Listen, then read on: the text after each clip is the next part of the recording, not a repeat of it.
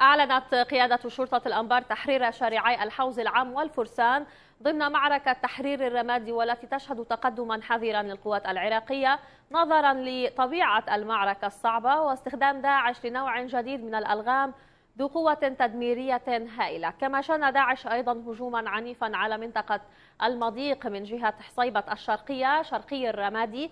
ولا تزال المعارك مستمرة ما بين القوات الأمنية ومسلحي داعش. من جانبه قال إبراهيم الفهداوي رئيس اللجنة الأمنية لقضاء الخالدية قال إن داعش أعدم 13 مسلحا بسبب تخاذلهم وهروبهم من معارك الرمادي. حول آخر التطورات ينضم إلينا الآن عبر الهاتف من الأنبار إبراهيم الفهداوي رئيس اللجنة الأمنية في قضاء الخالدية مساء الخير. مساء الخير سيدة تحييك وحي قناة إعلام العالم. حياك الله. أهلا بك معنا. بداية ما هي آخر التطورات العسكرية حول المعركة معركة الرمادي؟ نعم سيدتي. أه، تواصل القوات الأمنية من قبل جهاز مكافحة الإرهاب. وقوات شرطة محافظة الأنبار في عملياتها في تطهير المحور الجنوبي.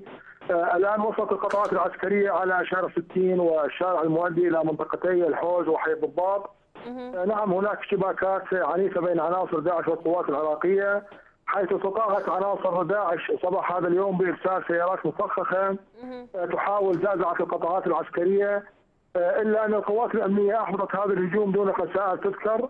العمليات تسير نحو المجمع الحكومي من أجل رفع العلم العراقي فوق هذا المجمع.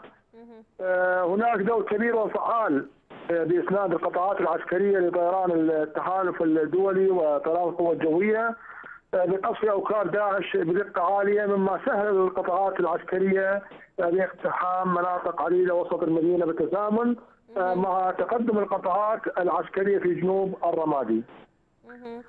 عناصر داعش شنت هجوم قبل قليل قبل تقريبا ساعة من الآن على منطقة حصيب الشرقية تحديدا محور شرق الرمادي من أجل فتح جبهات أخرى من أجل التخفيف على مقاتليهم في مناطق أخرى القوات العراقية اليوم بدورها تصدت هذا الهجوم وتم تكبيدهم خسائر جسيمه بالعدد والمعدل. نعم. أوكي. سيد إبراهيم آه، داعش يعني أعدم آه، العديد من جنوده بدعوى التخاذل ومحاولة الهرب. آه، عندك أي تفاصيل عن الموضوع؟ نعم سيدتي تحديدا يوم أمس قام عناصر تنظيم داعش بالهروب من منطقة حصيب الشرقية إلى منطقة جزيرة الخالديه شمال الرمادي. حيث تم إلقاء القبض عليهم من قبل التنظيم في ذلك القاطع وتم إعدامهم بالفور بسبب تهمتهم بالتخاذل وعدم انصياعهم آه، لأوامرهم. نعم. آه، سيد إبراهيم الفهداوي شكرا جزيلا لك كنت معنا من القضاء الخالدية وسنكون معك لاحقا لآخر التطورات.